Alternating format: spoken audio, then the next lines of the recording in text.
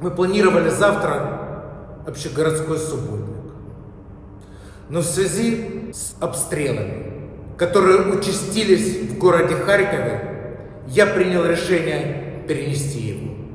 Мы обязательно выйдем с вами и проведем субботник, как только позволит военная обстановка. Слова благодарности нашей армии за ее стойкость, мужество и героизм. Благодарим нашу территориальную оборону.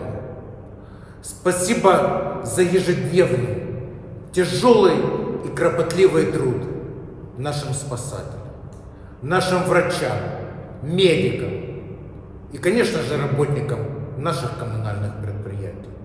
Я уверен, вместе мы отстоим свой город, вместе мы отстоим свою страну.